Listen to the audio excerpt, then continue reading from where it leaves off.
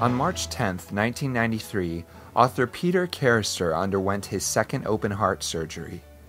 Diary of an Ordinary Man, as in Extraordinary, presents a year's worth of the events, thoughts, incentives, and reactions that came about in the wake of this highly traumatic experience. The author notes that life not only goes on without bothering to slow down, but picks up speed while expanding on its range of topics. No subject is taboo in this extraordinary journal.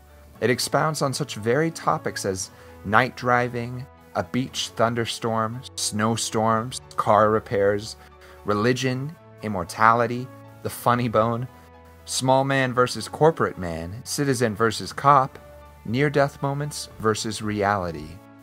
It features poems. It presents short story synopses.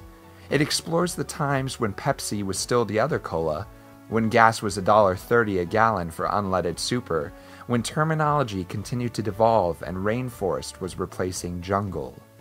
And yes, it sometimes feels racist, opinionated, slanted, even seeing red. The anchor event of the book is the author's car crash, which might well have led to his aortic valve replacement. It is also what motivated the diary and gave birth to philosophical essays not normally expected to be triggered by such an event.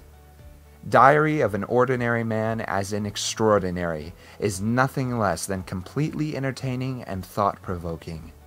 Available on Amazon.com and other online retailers, as well as directly from the publisher.